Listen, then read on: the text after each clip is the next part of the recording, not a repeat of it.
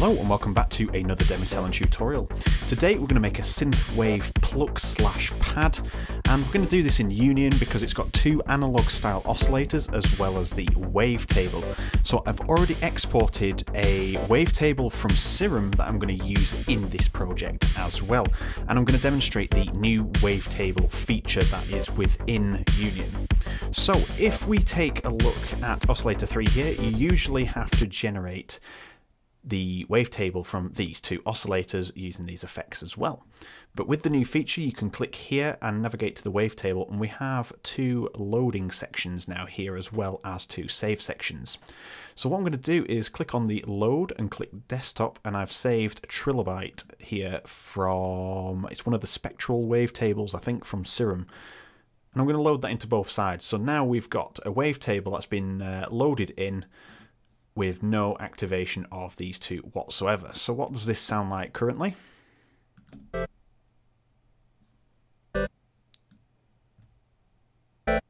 Okay, so sounds normal. And we're going to turn this into a pluck.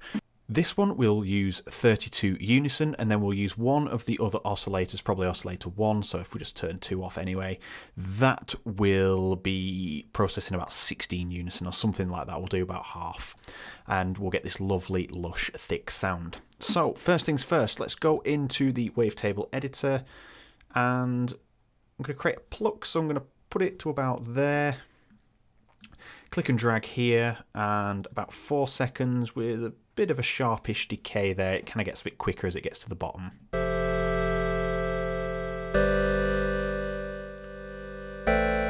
So there's a nice overlap of harmonic content there. It doesn't quite reach zero. I like that. This is set at 95 beats per minute as well. And I'm going to use some modulation to kind of give it a nice flow in the uh, kind of analog sense. So in the LFO, I'm going to set this LFO to one bar. Just going to drag this over here, create another point here. I'm going to go quite drastic. I'm just going to make a couple of humped curves here, which uh, we'll call mountain curves. And then we'll have this here. So we've got a bit of a fall off there. So we've kind of got something that resembles two mountains. And what we're going to do here, because it's moving so slowly through these, and the higher this is, the further the modulation will happen, we are going to put this onto the phase. So if we listen to what happens when we automate the phase, we get a bit of a pitch bending feel to it. And that's just like classic analog. So we're going to click twice on here so it turns blue, which is linked to the LFO. And turn the phase to three o'clock and then we've kind of at nine o'clock sorry and then we have our nine to three kind of modulation that's happening here. And it sounds really nice already. Uh, and same time I'm going to attach this to the fine tune. So click it till it's blue. Drag this. You can hear there too much so I'm just going to dial it back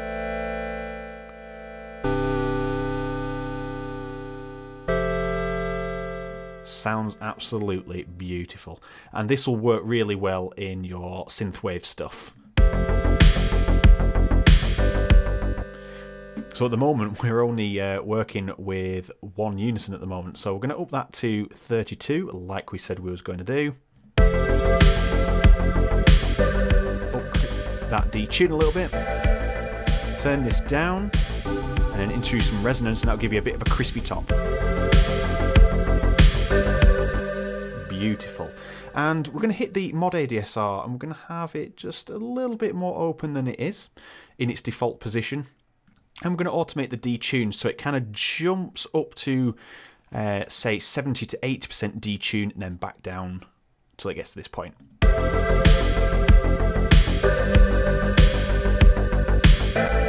And if we turn that off,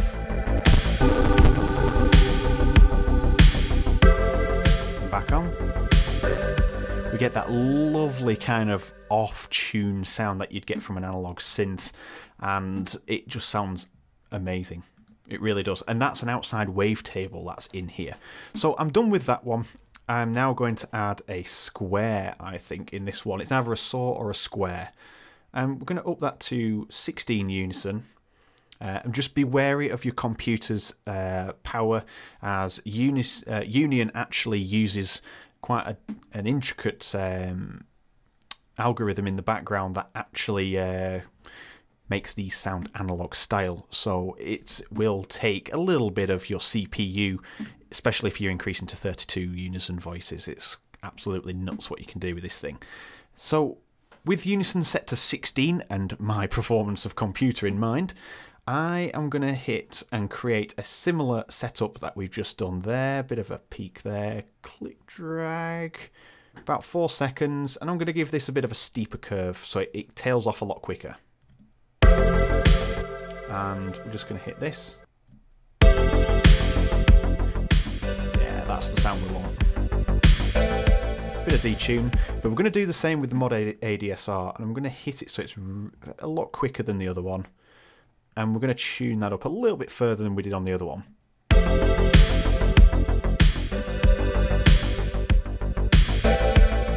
Bearing in mind this is all to taste, do whatever you want to make the sound. I'm going to turn this down, this up a bit, just to add a little bit of crispiness on the top.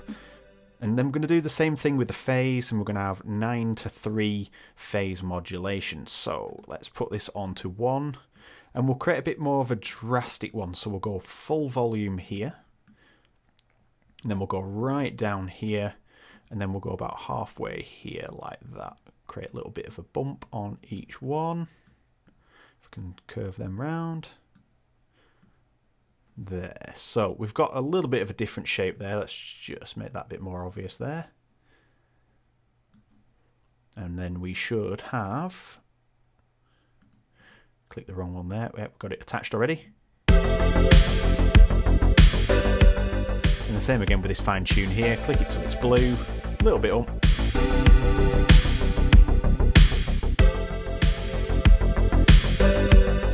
Sounds absolutely realistic, and that is just the best sounds that you can get out of here. So, what can we do to emphasize this sound? So, do we want to emphasize the pluck a little bit? Yes, we do. Do we want some velocity control? Yes, we do. So I'm going to hit the velocity control to about 80%. And what that's doing is when I'm building the voicings with the chords, if some of the notes are a bit quieter, Union is now going to recognize that. So, first things first, let's add a little bit more thickness using the chorus. Just increase the default setting to about 40 sounds good, a bit more depth.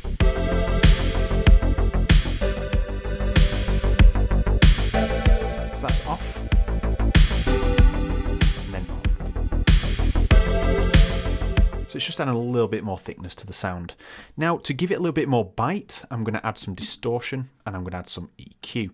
So I'm going to drag the EQ so it's before the distortion. And on the distortion, we're going to leave it on tube and let's just churn this up a little bit.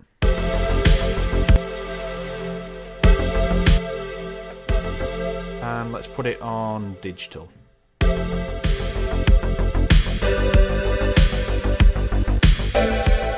Okay, so it just gives it a little bit of bite, but I don't want the mix to be permanently up. So effects LFO and we are going to reverse this and turn it into a envelope that is just going to pluck the sound pretty sharp as well, as you can see there. We're going to set it to trigger mode.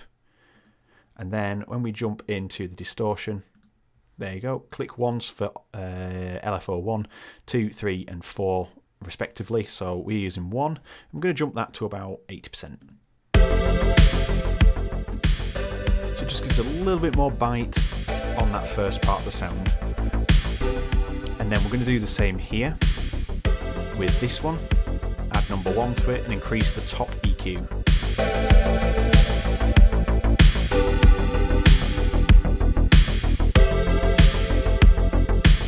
So that sounds good. And then I'm going to boost this one as well.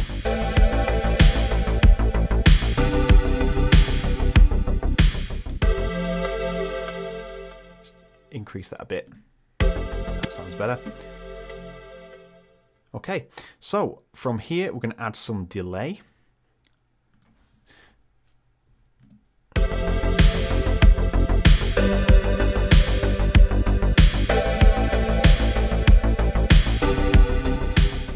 Turn the feed down.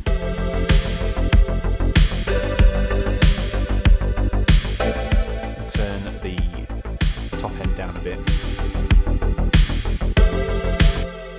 Okay, sounding wonderful so far. And then finally, I'm going to add dynamics and reverb, and in that order as well. So on the reverb, I'm going to hit Hall. Increase the tail to about 90%, high pass to about 300, so I don't want any low kind of reverberation in there. Damp down, LP up, about 9 o'clock-ish. Don't want too much reverb influencing the sound. To turn this gain down. Okay. And then we're going to increase this attack a little bit with some compression here. Slow release out. About 4 to 1.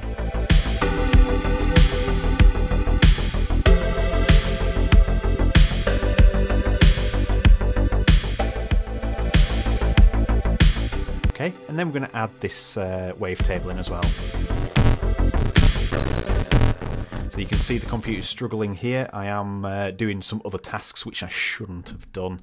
Uh, I've got a couple of videos exporting for future videos on this channel, and it's already starting to show uh, signs of a lot of unison is having an effect.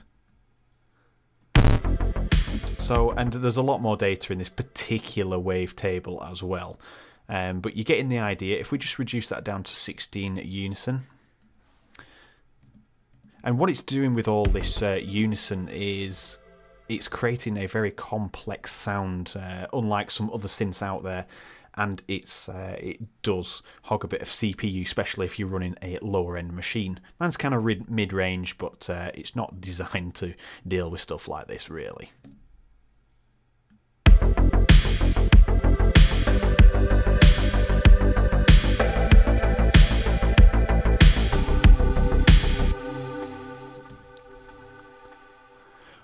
Okay, so I have added this third oscillator in. I reduced it to 16.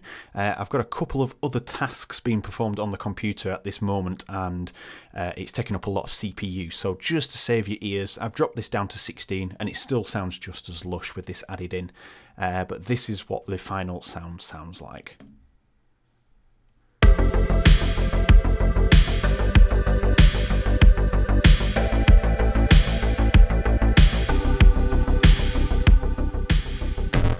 If we want, we could drop this an octave. And just listen to that beautiful 80s-ness.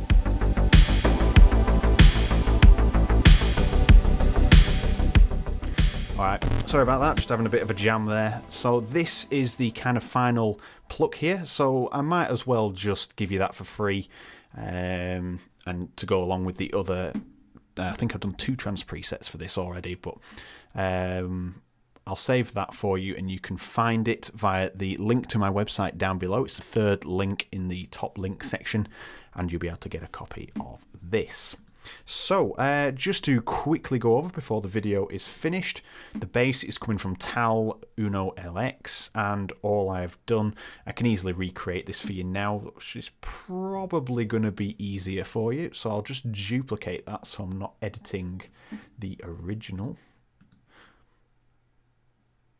Okay, um, Tal Uno LX. I'm just going to do this and then it's just definitely initialized the preset.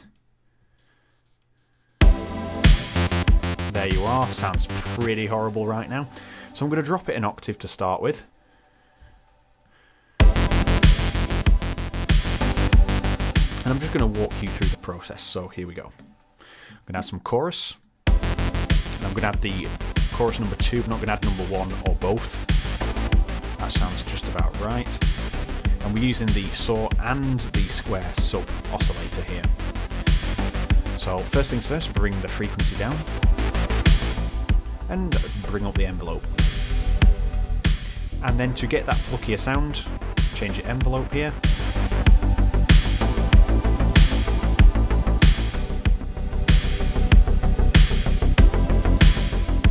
And there we are, we have that. Just open up the filter some more.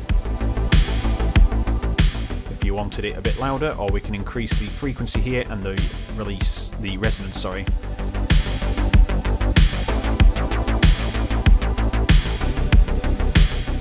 bit of modulation and we'll just leave it there. And that is that's it. That's all the sound was. So easy enough to recreate there without the preset. So thank you very much for watching. I hope you enjoyed seeing some synthwave. I actually enjoyed making this preset. sounds uh, sounds quite nice to say it's just an off the cuff sound. And thumbs up for Union because damn does this thing have a good sound for analog style music and to use it in synthwave I think is going to be a big issue. Uh, so look out for more tutorials coming from me on that sort of topic as well. So thank you very much for watching. Hit the subscribe button. I upload three times a week Monday, Wednesday, and Friday, possibly changing to Saturday that Friday, uh, but I will let you know in due course. And finally, hit like and drop me a comment. I answer everybody down in the comment section. So, thank you very much for watching, and I will see you in the next video.